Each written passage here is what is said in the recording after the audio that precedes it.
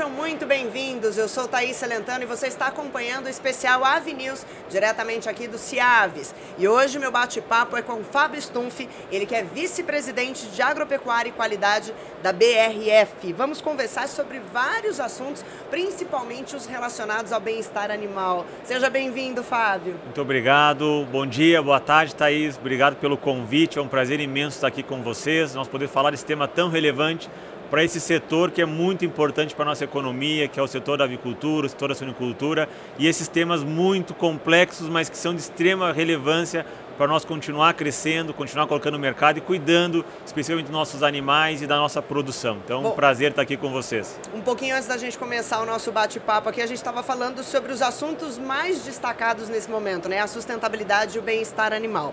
E aí, entrando na questão do bem-estar animal mesmo, é, eu queria que você contasse para a gente um pouquinho sobre o, pro, o programa global de bem-estar animal feito pela BRF. Perfeito. Eu sei que é bem grande, bem complexo e completo, né? Não, sem dúvida, Thaís. A gente começou há bastante tempo trabalhando com os, todos os nossos pactos e na BRF a gente tem algumas características muito marcantes, né? A gente de fato assume compromissos e esses compromissos são compromissos que a gente leva muito a sério, né? São coisas que a gente coloca em primeira lista das nossas tarefas, né? E o bem-estar animal é um deles e dentro dos compromissos que estão no site da BRF, para vocês terem noção disso dentro da companhia, a gente tem 20 compromissos globais focados em SSG e bem-estar animal, e a gente tem 11 dos 20, 11 são relacionados ao bem-estar animal.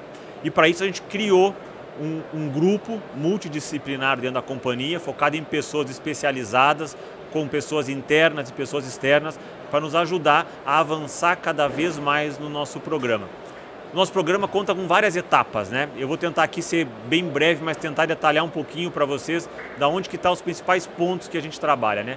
Primeiro ponto, para a gente falar em bem-estar animal, nós temos que lembrar dos cuidados que são com o bem-estar animal. E para isso a gente tem um programa de capacitação de todo o nosso grupo de veterinários da companhia. Então a gente treina e capacita todo ano todos os nossos colaboradores que estão diretamente relacionados à parte de cuidado com os animais. Isso vai no campo e na indústria. E é um programa voltado com pessoas internas e pessoas externas que a gente pulveriza esse conhecimento para todo o elo da cadeia.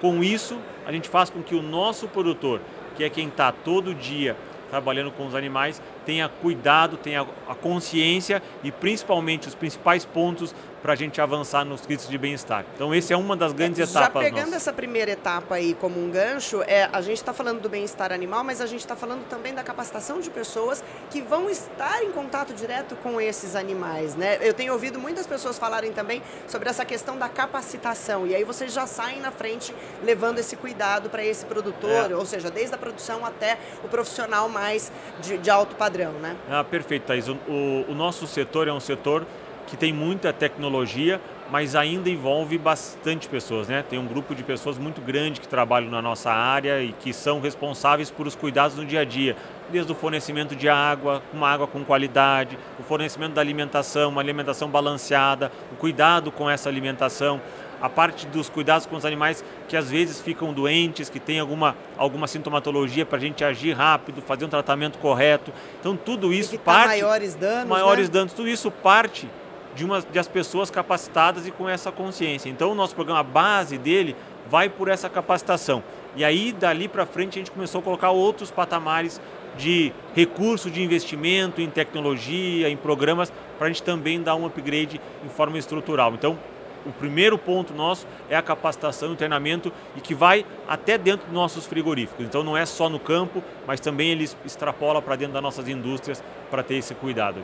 Bom, e aproveitando aí o gancho da capacitação que você já trouxe para a gente, essa capacitação de oficiais de bem-estar animal está relacionado já com esse programa? Já está estruturado nessa primeira etapa? Já está estruturado, a gente já começou, já fazem dois anos que a gente treina todo ano, a gente faz uma, fez o treinamento inicial, e agora faz a reciclagem de todo ano no, do nosso time. Então isso já está na rotina das nossas equipes, já tem a data marcada, os eventos, a gente faz eventos regionais, onde a gente reúne as, as nossas unidades do Sul, aí depois vai para as unidades do Paraná, da área mais central, e depois lá no Centro-Oeste. Então isso já está caminhando, já fazem dois anos e tem gerado muitas práticas boas, né? E a essa essa forma de a gente estar tá escutando às vezes pessoas de fora, falando para dentro de casa e pegando as boas práticas que às vezes acontecem dentro da nossa própria organização, acelera demais a conscientização e o, e o conhecimento para o nosso time. Então isso é um ponto muito relevante no nosso programa. Fábio, e como é que você vê o, o, impacto gerado a partir dessa capacitação? Né? Porque vocês tiveram aí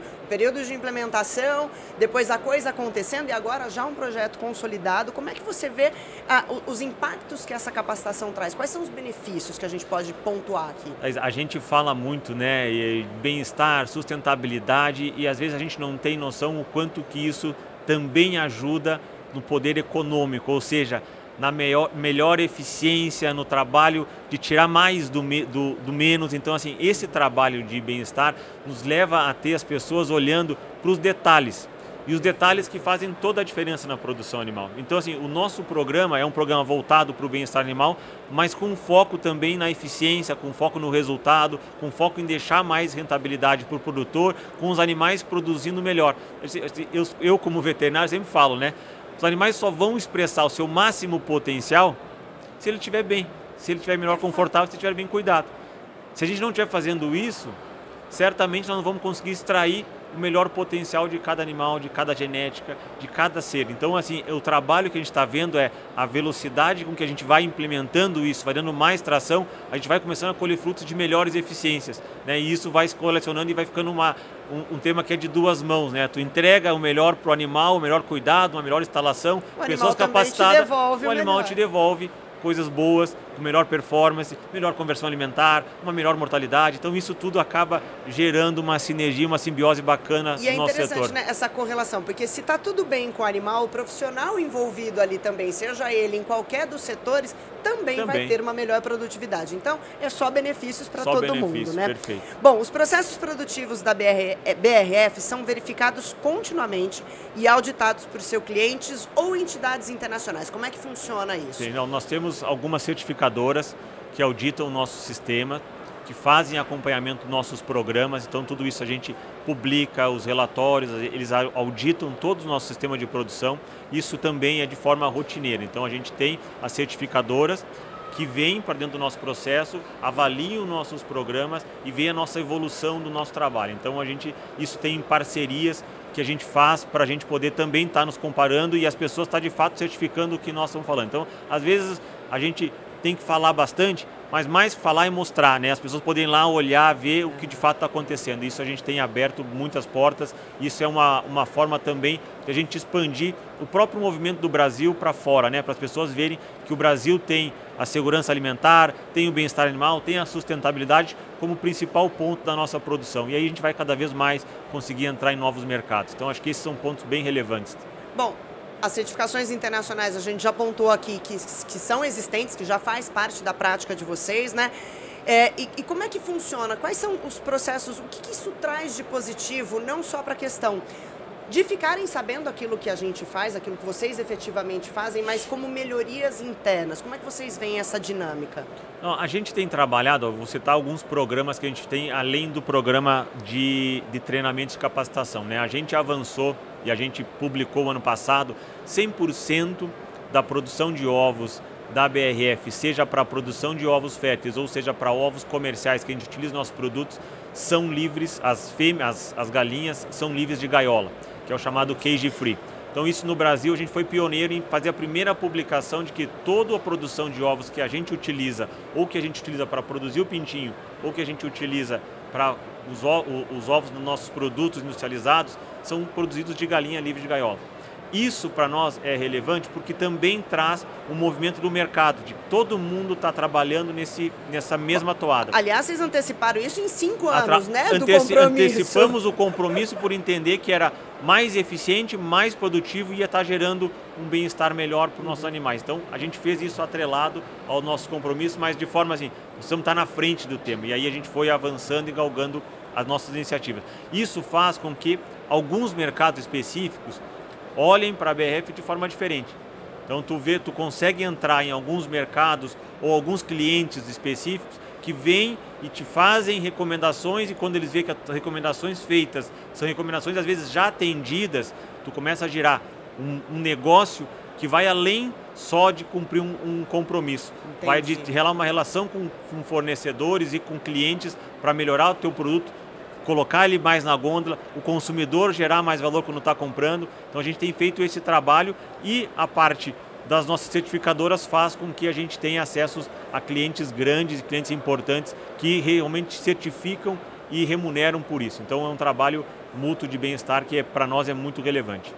Bom, fica claro aqui para a gente também que a parte de pesquisa de vocês também é muito ampla, né? Porque para chegar nesses resultados, nesses processos de aperfeiçoamento, vocês demandam muita busca por conhecimento, né, Fábio? Sem dúvida. A gente tem dentro da, da BRF um grupo técnico de especialistas, de pós-doc, de pessoas com doutorado, que fazem toda a parte de avaliação experimental do nosso desenho. Então, tudo que a gente vai colocar em larga escala, a gente tem as nossas, temos quatro granjas experimentais que são especificamente só para a gente fazer capacitação e treinamento e testar os que a gente vai colocar em larga escala. Então, antes de qualquer coisa ir para o campo, para os produtores, a gente faz uma avaliação interna nossa para ver o benefício, para ver o ganho, para ver onde que está os pontos de melhoria, para depois nós ampliar isso de longa escala. Então, a gente tem esse trabalho, esse cuidado com pessoas altamente capacitadas. Então, pós-doc, pessoas com doutorado, com mestrado, que fazem esse time. Então, são mais de 70 pessoas na área corporativa nossa, especializada na produção de nutrição, em sanidade, em genética, em manejo, para que a gente possa extrair as melhores práticas aí dos nossos animais incrível, né? Multidisciplinar e interdisciplinar para entregar o melhor res resultado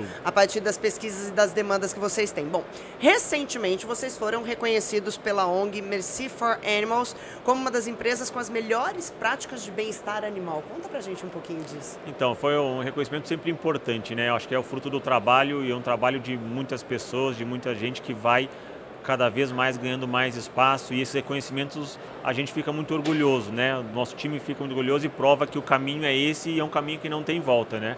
E esse foi um trabalho que quando a gente começa a reunir várias práticas que a gente adotou, aliado não só a falar, mas também colocar no papel e se comprometer, uh, leva a ter esse tipo de reconhecimento. Então nós fizemos vários compromissos lá, desde a nossa das fêmeas em gestação coletiva, uh, no caso dos suínos, da parte de, do cage free que eu acabei de comentar, uhum. do uso de promotor de crescimento que a, que a gente deixou de, de utilizar bastante tempo na BRF, da parte de cuidado com os animais, desde uma castração imunológica nos suínos, a uma castração cirúrgica, começa a ter práticas que são muito relevantes para o setor e quando a gente faz um, um volume tão grande de compromissos, a gente acaba sendo reconhecido como esse prêmio que para nós é um orgulho. É falar assim, cara, estamos no caminho certo, vamos acelerar cada vez mais, porque esse é um caminho que não tem volta. Então nós estamos muito felizes por esse reconhecimento e sabemos que tem um trabalho muito grande pela frente ainda, mas acho que é uma base de, de realização já de começar e ter um degrauzinho de, dessa, desse prêmio para nós foi, foi muito,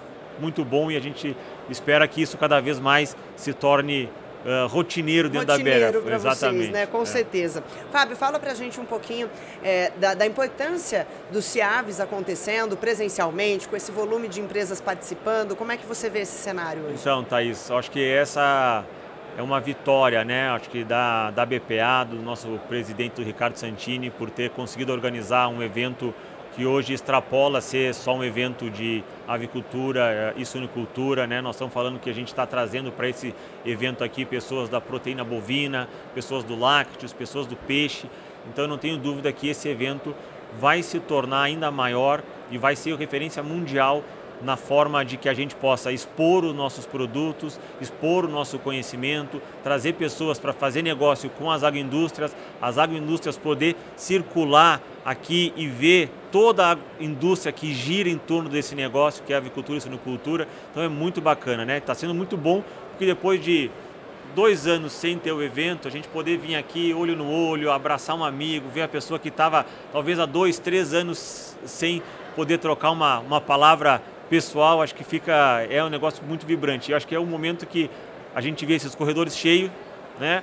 O, ontem eu estava conversando com um pessoal que que são fornecedores das agroindústrias e eles falam como é bacana vir num evento e poder ir num stand da agroindústria, né? Seja da BRF, seja da Aurora, seja da, da, da Seara, seja da LAR, seja das outras empresas que estão aqui. Como é bacana a gente poder visitar vocês e ver, putz, isso gera valor para nós, porque a gente está sempre acostumado a ir e a gente poder ver assim, putz, eu tenho que oferecer para o meu cliente alguma coisa. Agora hoje eu vou no stand da BRF para conversar com as pessoas com que eu atendo. Então acho que esse movimento que o CIAV está trazendo é muito legal e traz uma expectativa para o futuro muito bacana. Né? A gente está vendo aqui a proteína animal só cresce, a gente tem um espaço tremendo para nós avançar, tanto no Brasil quanto para exportar cada vez mais, suportar esse crescimento da população mundial com proteína de alta qualidade, que é o que nós sabemos fazer. E o Ciaves, eu acho que está aqui para a gente poder expor um pouquinho disso, né? E ver tudo que é esse aglomerado de, de empresas que vivem desse setor. Então, acho que é muito bacana. Ontem, diversas pessoas que passaram por aqui pelo nosso stand ontem falaram da importância dessa, dessa conexão entre o produtor, a empresa, a indústria. A, de um modo geral, o Ciaves conseguiu reunir todo mundo num único espaço para essa troca de informação e de conhecimento. Né? É. Acho que isso é muito valioso para todos muito nós. Muito legal, muito legal.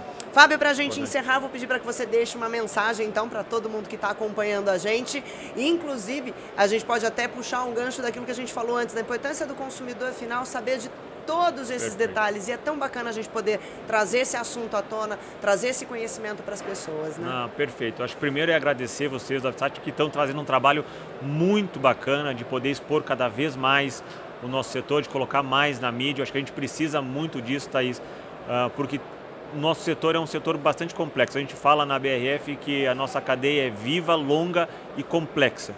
Né? E a gente estava discutindo aqui detalhezinhos que às vezes a gente não tem a mínima noção. Né? Quem está lá consumindo um, um, um frango, quem está consumindo um suíno, quem está comprando um ovo na gôndola do mercado, não sabe o trabalho e toda a cadeia que tem por trás. Né? Então eu acho que esses momentos a gente poder expor um pouquinho mais é super importante. Eu acho que nosso papel aqui é, é de muita relevância, de poder cada vez mais ter um setor transparente, um setor que cuida dos animais, que cuida das pessoas que estão e tem a segurança e a qualidade dos nossos produtos como primeiro ponto de todas as empresas. E aqui eu falo pela BRF e pelo setor como um todo, né?